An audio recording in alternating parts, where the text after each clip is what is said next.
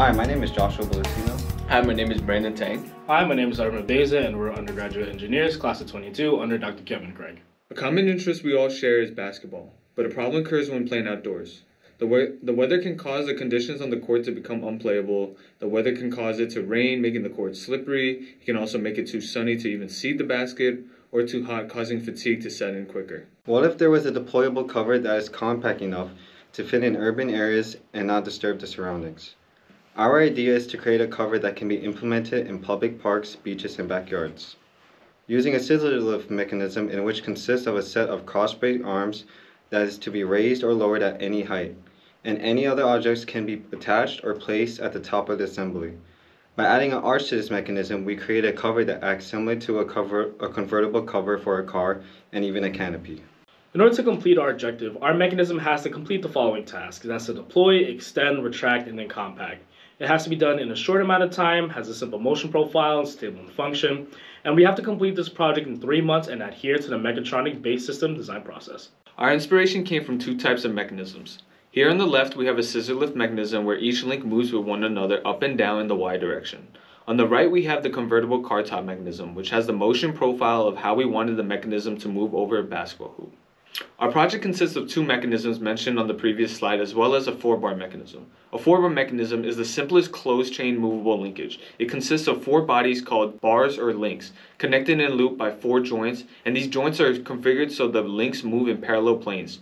Unlike the scissor lift mechanism, in our project, the four bar mechanisms act as the base linkage that moves all the other links in both the x and y direction. In a four-bar mechanism, there is a single loop formed and the vector equation describes the closure of this loop mathematically.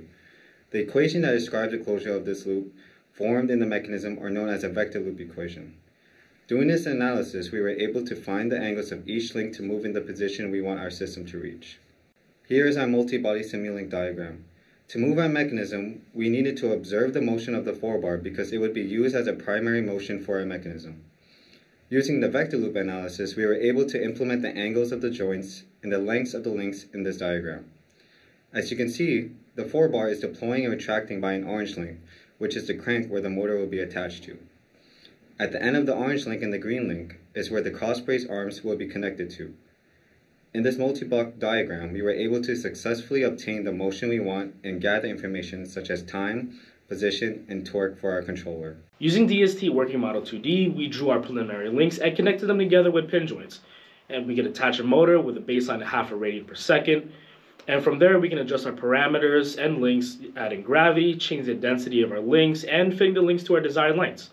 Once that's complete, we can extract the position, velocity, acceleration, and our torque graphs. Here is our link kinematic motion.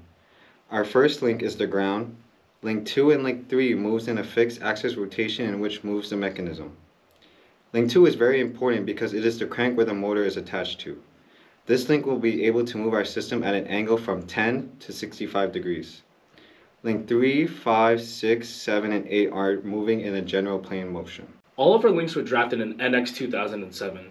Each link has a height of 1 inch, a thickness of a quarter inch, and has hole diameters of 3 16ths at a radial distance of half an inch from the ends of the links. Our crank link, which is attached to our motor, our rocker link, which is located at the stern of the system, the coupler link, which connects the crank to the rotor, link 5 connects the coupler link 6 and 8, link 6 connects the rocker, link 5, and link 7. Link 7 connects link 6 and 8 while serves as a support system to link 8. And lastly, link 8 is at the top of our system.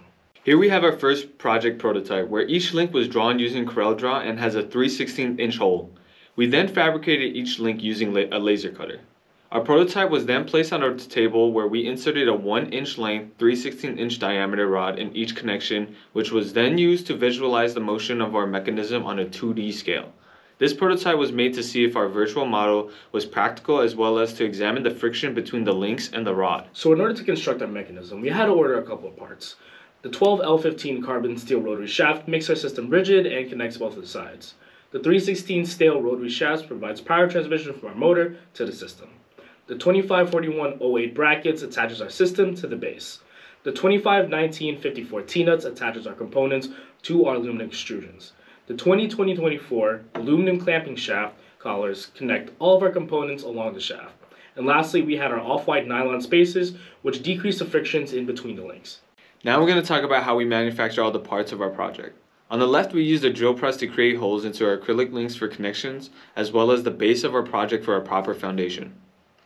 Here we drew the desired lengths and sizes for holes on CorelDRAW, where we then used a laser cutter to cut through the cast acrylic. The laser cutter was also used for etching the Hofstra logo, names, and lines of the basketball court. In this slide, we attached everything together with a spacer in between the links and a shaft collar on the ends and inside of the rod to enclose the two links together. This helps contain the links from moving laterally. The rods were cut using a lathe and are connected to both acrylic structures to create stability and so that the whole structure moves in unison. Here are the specifications of the motor used in our project. It has an output voltage of 24 volts, continuous output torque of 3.39 newton meter, peak output torque of 18.25 newton meter, and the type of gear is a high torque spur with a gear ratio of 65.5 to 1. The electronics that we used are an advanced motion control brush type PWM servo amplifier and a National Instruments myRIO. A servo amplifier, otherwise known as a servo amp, transfers signals from the command module to the motor. This effectively tells the motor how much it should move at a given time. By using a servo amp, motors are able to perform in a more consistency, meaning that the trajectory and the overall motion is smooth in its applications. The National Instruments myRIO is a reconfigurable input-output device for both analog and digital spectrums in a compact device. This is similar to an Arduino microcontroller, which is pretty much the brains of our system. Uh, our wire configurations are from the power to the motor encoder connected to the myRIO, the myRIO connected to the servo amp, and then the servo amp is connected to the motor. After building our prototype and connecting it to the electronics, it was time to program it graphically using LabVIEW, which is similar to Simulink. Using a fifth order polynomial, we were able to create a smooth motion profile for our design. We input the parameters such as the time, position, and torque into the code.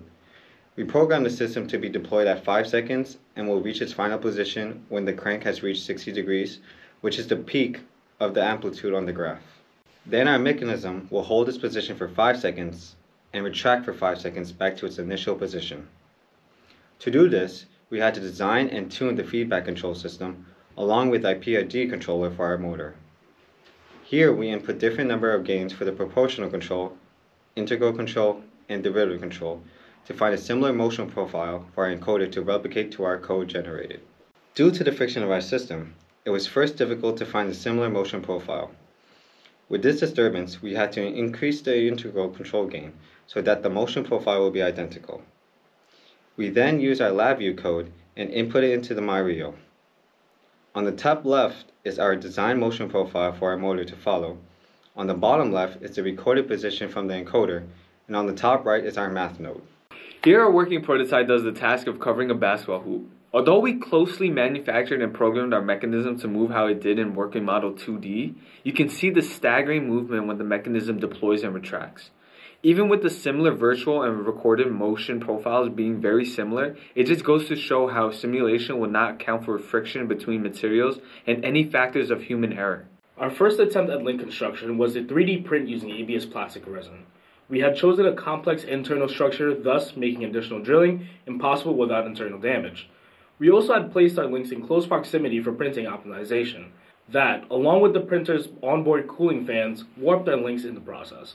Our first idea for power transmission was an axis translating gearbox to achieve our compact design. However, the gears that we had selected were too small to effectively grip the other gear during activation, resulting in gear slippage. Also, our 3D printed enclosure could not properly secure the shafts in place. Here are some additional features we would like to add to our mechanism. We would implement a solar panel to our mechanism to make our system self-sufficient. We can also add a remote control so the consumer is able to deploy and retract the mechanism with the press of a button. We can also implement the option to adjust the height and length to any basketball court or even a backyard. Some future iterations we would like our mechanism to be implemented is deploying a solar or infrared panel on satellite buildings and even vehicles. It can also be applied as a new car convertible top and also be used as a mobile scaffold. Lastly, it can be used as a backyard canopy or even a tabletop cover for laptops. Here are some lessons that we learned when designing our mechanism. The first lesson is proper tribology with journal bearings installed within the links would have reduced friction significantly. The second lesson that we learned is with proper planning of material selection and machining procedures that would have greatly reduced our waste. The last but most important lesson based off Dr. Craig's teaching is to an- analyze forward and inverse kinematics and create a virtual model before building. In addition to the lessons that we've learned, The main takeaway of this project was the process of conceptualizing, simulating, and then building. where this process can also be implemented into our professional careers in the future. Thank you. Project Cabrio would like to thank our sponsors the Fred DeMatteis School of Engineering and Applied Sciences, Dr. Kevin C. Craig, PhD, Keith A. McKenzie, Robert A. Serro, Lynn Espiritu, Lori A. Castoria, the Lawrence Herbert School of Communications, Fred O'Neill, and Radio Hofstra University.